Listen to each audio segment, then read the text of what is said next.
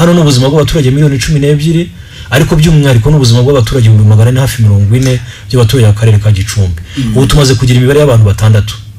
Umuntu umwe twagize byabaye amahire twamuvanye ku mupaka wa gatuna abandi ni famiye imwe y'abantu bose uko ari bane famiye y'umuyobozi wa bank.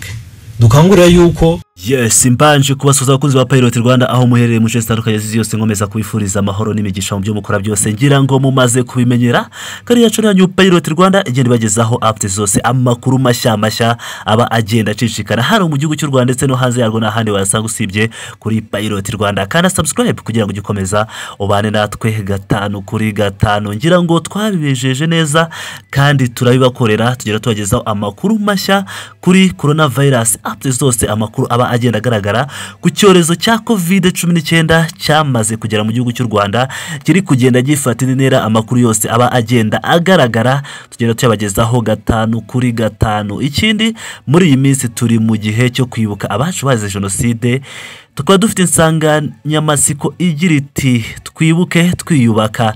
Reka dukomeze n'inkuru yacu inkuru ikomeye cyane ku cyorezo cya korona vayirasi hano mu gihugu cy'u rwanda mu gihe abantu bagera kuri cumi n'umwe bari biyongeye ku bantu bagera kuri barindwi bari barwaye korona vayirasi icyorezo cya korona vayirasi gifashe indi ntera hano mu gihugu cy'u rwanda. Amakuru mashya tugezeho aka kanya turaza kubagezaho odiyo nitujya kurangiza iyi nkuru y'umuyobozi w'ibitaro bya gicumbi atangaza aya makuru neza uko yakabaye tugiye kubagezaho. Mu karere ka gicumbi ibintu bifashe indi ntera. Abantu barwaye korona vayirasi bageze kuri batandatu mu karere ka gicumbi kandi akarere ka gicumbi cyane cyane abayobozi bakomeye mu karere ka gicumbi bitewe n'uko abarwaye korona vayirasi ari umuyobozi ukomeye umuyobozi wari uhagarariye banki ya ayandemu banki hariya mu karere ka gicumbi yarwaye icyorezo cya korona vayirasi ndetse n'umuryango we byamaze gutangazwa ko abayobozi bakomeye benshi hariya mu karere ka gicumbi bafite ibyago bikomeye byo kwandura icyorezo cya korona vayirasi cyangwa kovide nayintini nubwo abarwaye iyi virusi batarembye cyane ariko igihari ni uko mu karere ka gicumbi abantu barindwi bamaze kurwara iki cyorezo. Ikindi kandi ko hari abantu benshi bashobora kuba bari mu byago byo kwandura iyi virusi. Gusa umuyobozi w'akarere ka gicumbi amaze kugira icyo abwira abaturage abasaba gutanga amakuru nyuma y'aho aba batandatu bagaragaweho iki cyorezo cya korona vayirasi nk'uko umuyobozi w'akarere ka gicumbi ndayambaje felix yatangaje ko abaturage bagomba gutanga amakuru ku muntu wese baba bazi wahuye n'abantu bamaze kugaragarwaho n'icyorezo cya korona vayirasi muri aka karere. Amakuru agaragaza ko muri aba bantu umuntu umwe yari asanzwe ari mu kato muri aka karere akaba yari yaragiriye ingendo mu bihugu byo mu karere naho abandi nabo mu muryango umwe.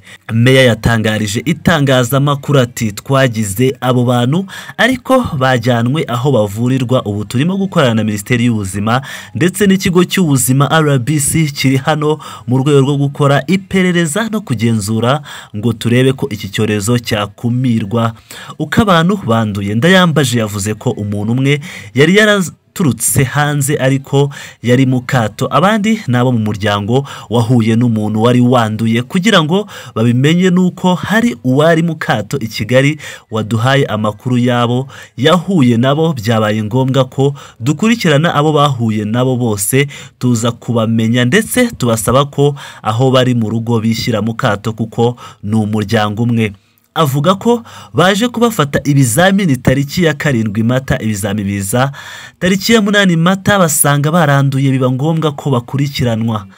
Yagize ati ubu twatangiye gukora ubukangurambaga dufatanyije n'itangazamakuru dusaba abaturage baba barabonanye n'aba bantu cyangwa abandi bafite ibimenyetso ko bakwihutira kubwira inzego z'ubuzima babicishije kuri nimero rimwe rimwe kane na nimero y'akarere ihoraho kane rimwe kane gatatu noneho tukareba uwo muntu agapimwa. Avuga ko barimo gusaba abaturage ko uwumva yarahuye n'abo bantu adakwiye kujya kwa muganga ahubwo yatanga amakuru ubuyobozi bwiteguye guhita bumugeraho aho yaba ari hose kandi agafashwa nta kiguzi atanze. Mbere yo kudukomeza n'andi makuru akomeye cyane kuri iki cyorezo cyane cyagaragaye mu karere ka gicumbi. Reka tubanze tubagezeho iri jambo ryose ubuyobozi bw'ibitaro by'akarere ka gicumbi yagejeje ku banyarwanda cyane cyane abaturage bo mu karere ka gicumbi. Gicumbi ubu ubwirinzi buhari kwa muganga mu baturage bahagana bwo bwifashe gute? Ya, urakoze cyane. Ubwirinzi um, buraza bwiyongera ku bwari buhari. Ubwari buhari eh, nababwiye ko mu cyiciro cya mbere twari dufite twabanje kwicarana n'akarere dukora ikintu cyitwa command post. Ni urwego rukora amasaha makumyabiri n'ane rukusanya ibiba byakozwe mu rwego rw'akarere rugashyiraho ingamba eh, rugenda rusesengura amakuru ahari kugira ngo rushyireho ingamba zihari. Icya mbere twari twarebye twari twabonye yuko hari ahantu hafite ibyago. Ahantu hafite ibyago hambere twari twabonye n'inkambi ya gihembe aha kabiri ni mu bitaro bya byumba kubera ko utatse wese araza ubwo bivuge ko no mu bigo nderabuzima n'aho abajyanama b'ubuzima bahurira n'abantu hari hari ahantu hafite ibyago. Niyo mpamvu muri iyi minsi ariho twakusanyaga n'imibare ni bande bagize ikimenyetso cy'umuriro ni bande bagize ibimenyetso bya coronavirusi kugira ngo imibare tuyisesengure dufate dufate ibyemezo. Ariko ibyo ni ibyo ku rwego rwa mbere. Urwego rwa kabiri icyo kiba gihari ni ukuvuga ngo wabonye abanduye. Ntabwo ari n'umuntu umwe. Ibyo ni byo nanavuga. Barenze n'umuntu umwe mu karere ka gicumbi. Iyo wabonye abantu banduye icyo ugomba kwihutira cyane ni ukuvana ba bandi banduye muri mu, baturage. Ubu ikigiye kubaho eh, umwe ejo yaragiye ya- yavuye mu, aho twari twaramushyize kuko yabonetse we ari no mu kato ajya kuvurwa. Ibyo bita centre de traitement cyangwa treatment center. A- abandi twaraye tubonye bo nabo ubu ngubu bagiye kugenda bagiye kujya mu, kuvura. Kuko ni- buriya ni strategy nziza iyo atagomye kugumiza kuba mu bantu kuko iyo agumije mu bantu ukabyizera ashobora kwanduza. Eh, siko bikorwa mu bindi bihugu kuko mu bindi bihugu utaragira ibimenyetso by'umusonga byo guhumeka nabi bya bindi bikomeye ukomeza ukaguma mu rugo iwawe cyangwa ukajya kwa muganga. Eh, ibyo rero ukomeje kuguma mu iwawe iyo uri umuntu umwe mu muryango w'abantu bane babandi bose ma- muri siyanse ni uko nabo bagira ibyago byo kwandura. Strategy ya mbere rero ni uko ba bantu bava uh, mu karere barimo bakajya muri centre de traitement mu, kigo kivura ubu ngubu bimaze kuba ibigo bibiri bizagenda byongerwa bitewe n'umubare uko uzagenda wiyongera. Icya kabiri kigomba gukorwa ni abo bashobora kuba barahuye. Ubu ngubu ni cyo ikipe y'ibitaro iri gukora ni cyo ikipe yo ku rwego rw'igihugu yaje kudufasha iri gukora. Abantu bose bahuye n'abo bantu bose tugomba kubamenya. Tugomba kubamenya ndetse turanashishikariza yuko abantu bose bahuye n'abo bantu babaye pozitifu bagomba kwimenyekanisha bagahamagara nimero tuza kubahereza kugira ngo tubazane. Ikintu kiza kubaho mu karere ka gicumbi tugisobanure neza ni uko abo bantu bose baza gushyirwa mu kato. Umuntu wese wahuye eh, na- na- n'abo bantu bose babaye pozitifu araza gushyirwa mu, kato. Mu cyorezo nk'iki ngiki giteye ubwoba cyica abantu buri munsi hari ibyo ikiganga eh, hari ibyo ikiganga ki- kivaho. Ibyo kuvuga ibanga rya muganga.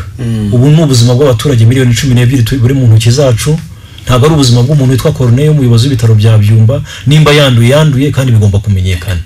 Eh, rwose ntagire umuza kutubwira ngo twatangiye kukwica amabwiriza ya kiganga. Hano ni ubuzima bw'abaturage miliyoni cumi n'ebyiri ariko by'umwihariko ni ubuzima bw'abaturage ibihumbi magana ane hafi mirongo ine by'abaturage b'akarere ka gicumbi. Ubu tumaze kugira imibare y'abantu batandatu. Umuntu umwe twagize byabaye amahire twamuvanye ku mupaka wa gatuna eh, yari yaragize ingendo zo mu karere turamufata tumushyira mu kato k'iminsi cumi n'ine tumaze kumupima aza kubonekamo eh, buno bwandu.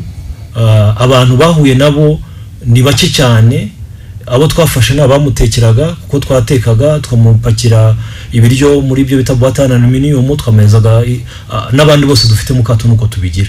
Twabereza twadukanya turi za jenike ku buryo eh, contact guhura na wa muntu biba gake cyane. Ariko tumaze kubona umuntu uri pozitifu ba bantu bose yaba mu wamurindaga nk'abapolisi yaba abaganga bamu- bamufashaga yaba abamutekeraga bose nabo twabashyize mu kato uwo ni umuntu wa mbere. Abandi ni famiye imwe y'abantu bose uko ari bane famiye y'umuyobozi wa M bank. Dukangurira yuko uwahuye nabo bose mu karere ka gicumbi. Imenyekanisha ah, mu bitaro bya byumba nimero ndaza kwibaha turangije kugira ngo eh, bakomeze bategereze rwose iyo nimero bayibike baze kuduha amakuru. Uwahuye n'umuyobozi wa M bank ndetse na famiye ishami rya byumba. Eh, yaba uyu muyobozi yaba umudamu we yaba umwana yaba n'umukozi bose turashaka ko bimenyekanisha bakiripotinga ku bitaro bya byumba kuri telefone ariko. Bagume mu rugo turabohereza imodoka zo kubatwara. Imodoka zo kubatwara nizo ziza kubafata zikabajyana aho twateguye ko bajya mu kato kandi bagapimwa tukareba ko bahagaze niba ba negatifu tuzongera tubafate tubasubize mu rugo mu muryango nta kibazo. Ariko uzaba positifu tuba tugomba kumuvanamo hariya.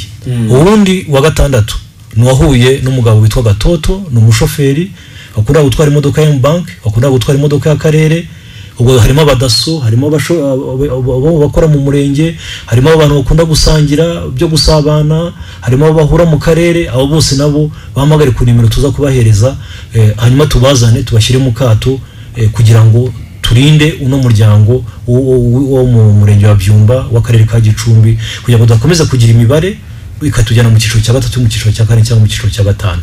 Ubwirinzi rero nk'uko wari ubimbajije ubwirinzi bushingiye ahangaha niryo zingiro ni izingiro ryo kuvana abanduye mu, mu, muri kominote ni izingiro ryo kuvana abahuye n'abanduye mu, mu baturage tukabapima tukamenya ibisubizo byabo nimba bari pozitifu bakajya kuvurwa nimba ari negatifu tukabasubiza benewe ntihagire umuntu uza kugira ikibazo ibyo kurya kuva aho ba- bavuye mu rugo bakagera ku bitaro tukabapima cyangwa baza gushyirwa mu kato gusubirayo ibyo byose ubuyobozi bw'akarere buzabifata mu ntoki zabo ntibaze kugira uh, ikibazo ko dukunda guhura n'ikibazo umuntu akavuga ati ubwo banjyanye kujya muri ya hoteli ni njyewe uzishyura. Nta muntu uzishyura ibi byose ni leta izabyishyura ariko nibadufasha kugira ngo tuze kurinda umuryango uh, w'abaturage b'akarere ka gicumbi uh, izi kesi zize kuvamo dusubire mu buzima busanzwe uko byari bisanzwe. Urakoze cyane umuyobozi w'ibitaro bya byumba ikibazo nari mfite ni ho naganishaga nifuzaga kumenya birumvikana umuntu yabwirwa n'iki ko yahuye nawe atamumenye ariko ubwo uh, babamenye biri amahire ngira ngo murumva ko icyorezo cya korona virusi cyangwa kovide cumi n'icyenda hano mu gihugu cy'u rwanda kimaze gufata indi ntera cyane cyane ko ubu gitangiye kugera mu ntara zitandukanye harimo nk'akarere ka gicumbi kamaze kugaragaramo abantu bagera kuri batandatu barimo umuyobozi wa banki ayandemu banki ikorera hariya mu karere ka gicumbi. Ni payiroti rwanda ndabashimiye.